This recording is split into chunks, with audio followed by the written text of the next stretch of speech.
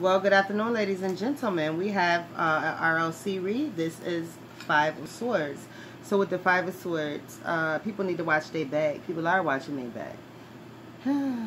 right, it's a lot of uh, wow energy out there. So people are definitely watching their back, and those who are not watching their back definitely need to watch their back.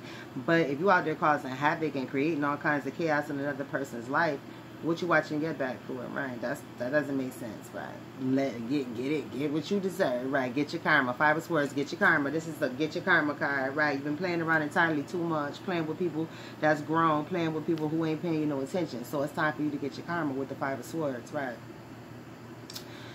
Uh, you're spending too much time hiding behind somebody else. It's a leader, and then there's some followers, and the followers are hanging behind the leader, playing too many games because the entire situation. Everyone is afraid. Everyone is scary.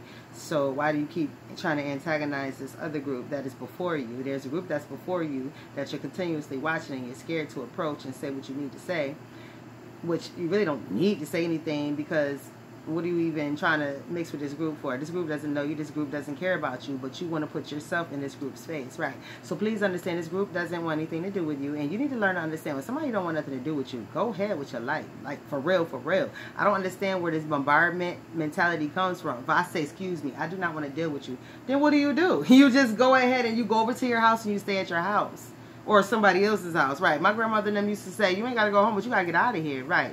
You right, you ain't gotta go home, but you gotta get the hell out of here. Right. You ain't gotta go home, but you gotta leave here. Right. So the whole point of it is when somebody tells you that they don't want your company, they don't want to be around you, you need to learn how to respect the person's wishes. There is a nasty, nasty, nasty attitude in America where somebody tells you to go from around me and you're like, no, I'm not going. Yo, I don't know where that come from, but that's how you get shot down. Please understand that. Bye. Have a nice one.